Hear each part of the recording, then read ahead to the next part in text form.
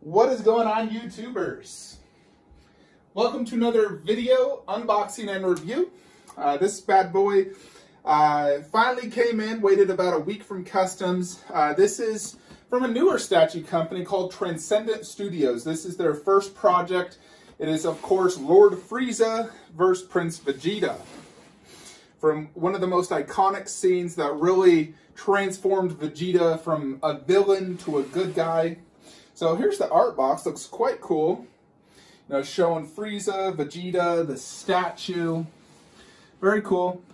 So this company, uh, this is their first project. They've already shown off a few additional projects. They got the androids in one-fourth, which looked really good, as well as uh, Pikkon versus Janemba statue, and they've also teased a Beerus and Whis statue. So, actually, let me just yeah, I don't need to flip this upside down. So this is to finish my DBZ 1-6 scale collection, really. This is the one piece I needed, because I have Frieza fighting every single villain, or every good guy, except for Vegeta. And no company was making one, so I finally, uh, Transcendent Studios came out with this. It looked awesome, so I bit the bullet, and here we have it. All right, so this is mostly Vegeta. Here's Frieza.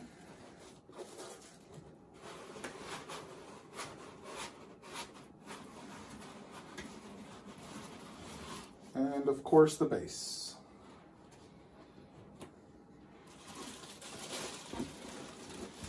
Base is somewhat heavy, a giant plastic baggie.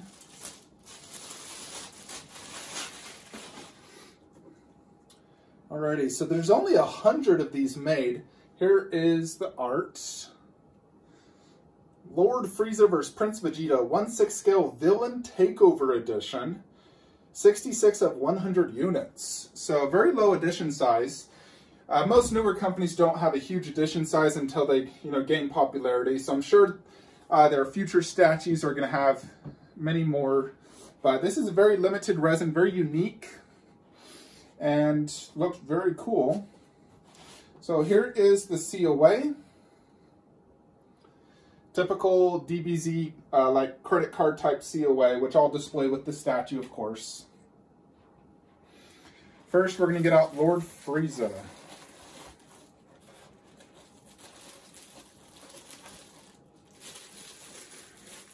Good weight to him. So here he is. A little bit of dust on his face. It honestly looks like he's flipping you off. good texture work. Looks good.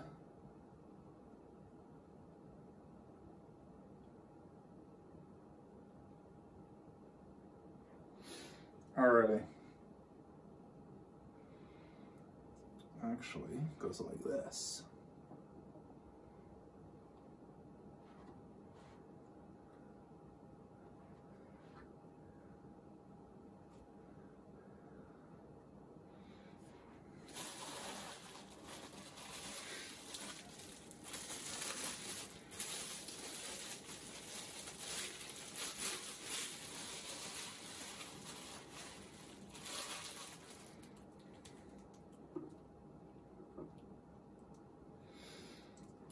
Wonder if it'll be easier to put the tail on after. We'll want to put Vegeta first.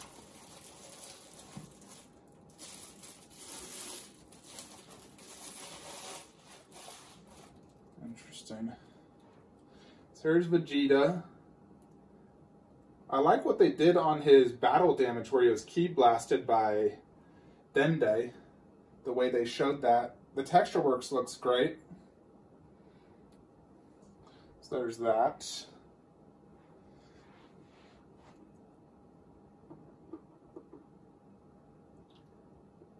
Believe.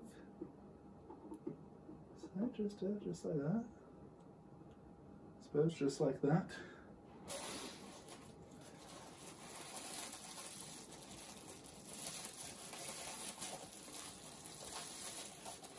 Here's Vegeta's face.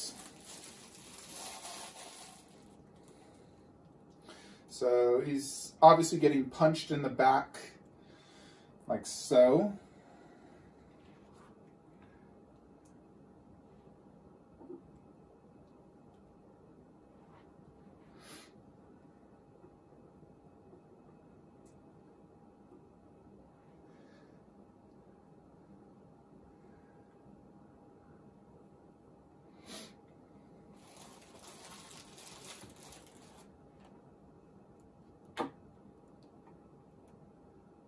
So his leg goes into Frieza there, there, and the tail on the head to secure everything. And looks like this is more blood, I believe, to insert into Vegeta's mouth.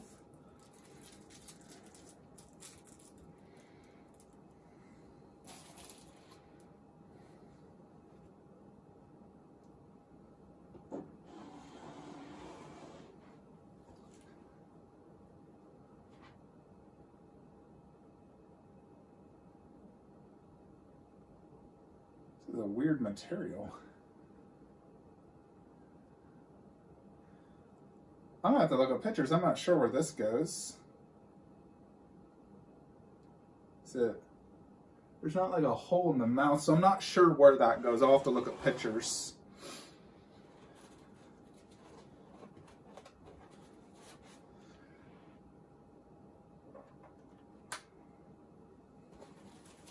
Here, of course, is the logo.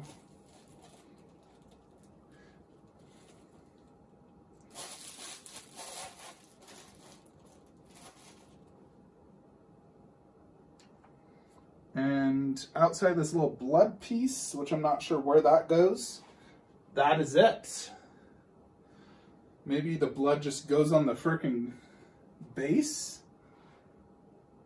You know, blood splatter. Anyways, here it is, folks. Uh, let's go ahead and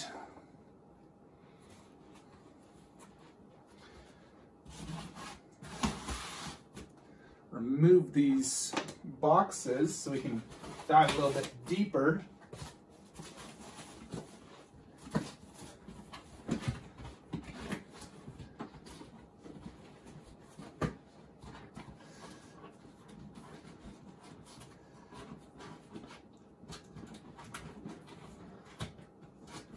Alrighty. So here we have it. I'll mill down so you can get a good size comparison. Here it is, Transcendent Studios Frieza versus Vegeta. So I'm going to go over some of the pros and cons I see of this. So first let's look at this base, and I'll do some close-ups, but it's basically a black dragon scale base. And it looks good. Then you got the Namek land with some rocks and everything, and that looks really good. So the base looks great. I definitely like that. Frieza does look great. I think the likeness could be slightly improved. And I'm not 100% sure on this translucent part on the purple. I'll do some close-ups, but I swear I can see some numbers on the inside, like, you know, they're numbered. I think that could be better. I would like to see a little bit more shading on Vegeta's uh, blue, blue part. There's not a ton of shading. The texture work is great, but not a ton of shading. The texture work throughout the entire statue is amazing. You know, even Frieza's tail, his skin, you know, a lot of texture work, the muscular detail, very well done. I do think it has good Vegeta likeness. I think Frieza could be a little bit improved. It's an okay weight, uh, not super heavy. The COA is decent, could be better. Uh, it's just a you know standard DBZ COA, nothing fancy like Tsume or anything. The statue was priced pretty good. I honestly don't even remember pricing. I think it was like $300 or something like that. Uh, but it's a very low edition size, very unique. Uh, you know, I do like, you know, this is basically when Vegeta dies for the first time. So let's just do some close-ups real quickly.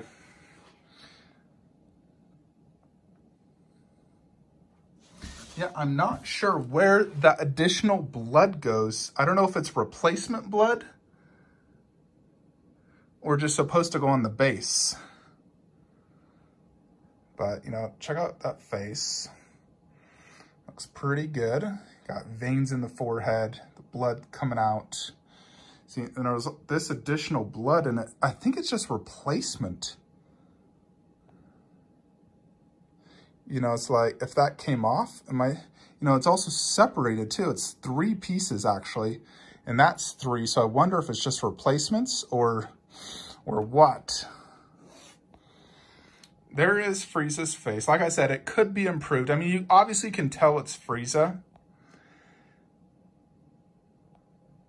I think I would have preferred to see a more, uh, an alternate portrait as well, where he's open mouth.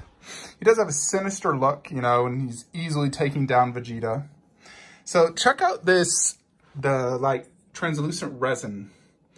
So you can see the inside, which I don't really like too much. And like, look at that part right there. You can see like, what is that circle inner part? It's like, that's how they attached it. There's that one. And then there's the arm ones. You know, like they could have been done better. I understand, you know, people wanting the translucent resin uh, for Frieza, although in the anime, he didn't technically have translucent. That's just them adding more realism, really. I think, I like the translucent resin on a 1 4th, but a 1 6 I don't think it's necessary, to be honest. I mean, it is cool. It is unique, but I'd prefer just regular on a 1 6 scale. And plus, it would match my VKH better. Scale looks good. You know, it looks 1 6 scale. Good sized base. You can see next to my hand. You know, and there's size comparison, obviously, to larger scale statues. So it's a small DBZ. For me, I love 1-6 dioramas. So here's the seam line with the tail. Obviously, it's a very noticeable seam, but this is from behind, so you're never going to see that. And that's the only noticeable seam line. But look at the texture work on that tail. That looks fantastic. Even on the back, look at the detail. Very well done. You know, even like how Frieza's foot's gripping that part of the hill, that looks great. The base detail looks good. Very cool. Even Vegeta's bottom foot has detail. Typically, you won't see that on a statue.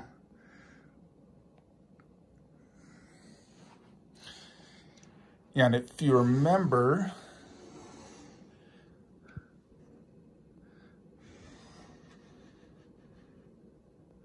Yeah, you can even see a little bit of where the dome connects. That's why I'd prefer just a full piece so you don't see those connectors. Because they have to do that when it's dome. It's a separate material. It's not the same as, you know, the rest of the statue where the VKH is just the same. It's just painted different. Yeah, I like how they did that uh, shirt tear right here. And you can see Vegeta's six-pack. That looks very well done. the texture work definitely looks really good. And the paint job overall looks fantastic.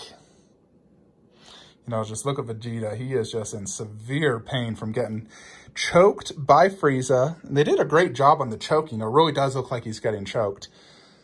So definitely a great design.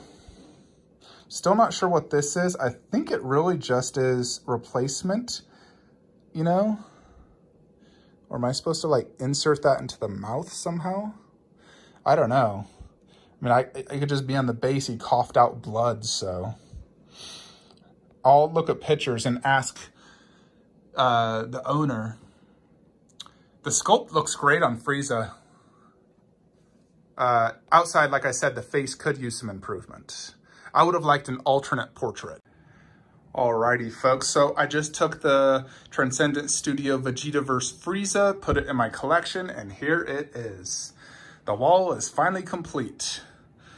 I uh, waited quite a while to get this boy, but I'm glad he's finally in the collection. He does look quite awesome, no doubt. It always feels good to complete something, you know, and if you look at this bottom row, so we have first form Frieza, Frieza fighting Gohan in Form 2, Form 3 fighting Piccolo, and then final form fighting Vegeta, then Goku. And he's kicking everyone's butt pretty much. The only one I don't have is Krillin, but that's fine. Krillin is not a must-have. The only Krillin I really need is Tsume Krillin, uh, which will be mine, as well as that Krillin, Kid Krillin. But here it is. It does look quite awesome, uh, no doubt, next to other Frieza statues. Uh, so scale looks appropriate. You can definitely tell there's, uh, you know, detailed difference between this and VKH. You know, the VKH are amazing and they look like they're from the anime, where this one takes it up a notch and adds extra detail. You know, like I said, in regards to texture work, paint job, uh, the underbase, which I really like. I love underbases. The original VKH don't do underbases. They started to do it when it was in the Buu saga, and now all of them have it. And I've been telling companies for years, always have an underbase. It really adds to a statue. And so this one's a fantastic underbase. You know, it's better than, for example, the KD Vegeta verse 19 uh, underbase. That one's very simplistic, where this one you have the whole dragon theme, which looks great, and you don't need the dragon head, uh, just the, you know, the black, so it's not distracting, and it looks awesome. You know, the texture work and everything. So obviously this does fit in a Detolf, which it's currently in. Uh, Detolf is my preferred choice of freaking cases when it comes to Dragon Ball Z. God, I lost my train of thought. but yeah, for DBZ16, I love Detolfs. I think they work great. They look really good. You know, every statue gets its own space. You know, some obviously take up two, and the bigger ones up top, that simply won't fit. But this definitely looks really cool in the collection. Uh, and I like how when on display, you can see both Vegeta and Frieza's face. That's not always the case. You know, for example, that one, I can't see Gohan's face. And, you know, the other ones, I just see their side faces. That you can't see Frieza's face unless you turn them. So I like how Transcendent Studios made it so you can see every character in all their glory. And they did a really good job, no doubt. Uh, I, I was kind of a little worried when I first inserted Vegeta and he was just held with that tiny little peg. I was like, oh my gosh, he's going to fall off. But then, of course, I forgot to insert his leg, which also pegs in. So he's definitely very secure. No worries of anything. He's not too heavy where I would worry about leanage. So overall, it's a fantastic looking statue and I do recommend it. Uh, very much looking forward to future Transcendent Studio statues. They do have a Facebook group if you just search Transcendent Studios that you can join. I also recommend just joining my Facebook group, DBZ Resin Collectors, where I'll post, you know, all the latest and greatest of statues, including theirs. Uh, their owner's fantastic. He's great customer service. He actually, uh, you know, I asked him what the extra blood was for, and by the time I took this statue from my main room to this room, he responded, and he said it's just spare blood in case that blood falls off. So it is nice they include extra blood. You can also display it on the base if you want to, but I'm not going to. Purely because when I do dusting, that thing would fly off instantly and I'd probably forget to remove it. So I don't want to risk losing it. So I just put it back in the box. But it is very cool. They included replacements already just in case. You know, that material was very soft because it needs to bend to go over that tail. So it is very cool they included that. So great customer service, no doubt, by Transcendent Studios. I definitely highly recommend them and definitely recommend this statue. In terms of overall score, I think conceptually they did an amazing job. I would have liked to seen an additional portrait. I think I also would have liked to seen a version that was not done with the translucent parts. Uh, you know, so it could match that. Because honestly, if there was one that was, let's say, 50 bucks cheaper that wasn't uh, the translucent, I would have just bought that one instead so it could match those guys. But you can't blame them for adding extra detail. You know, I also have that one that's uh, translucent. Uh, that one's a little bit darker than those one, than this one. But they definitely did a fantastic job. I would rate the overall statue like a, a 7.8 out of 10. Uh, you know, like I said, the likeness could be a slightly different better. The translucent parts could have been slightly better. But for a first statue, it's a fantastic uh, statue, no doubt. And definitely one that is, you know, not leaving my collection. Uh, it's definitely one I wanted to have all Frieza kicking everyone's butt down there. Because I love Frieza. I love how tough he is. And this really showcases him, you know, killing the Prince of All Saiyans. So fantastic job, Transcendent Studios. Uh, I'll leave their email as well in the description below in case you guys do want to order this. I believe there's just a few left of the original 100 run. After that, sold out, no reruns. It'll be hard to get, I'm sure. So definitely jump on board if you guys are interested.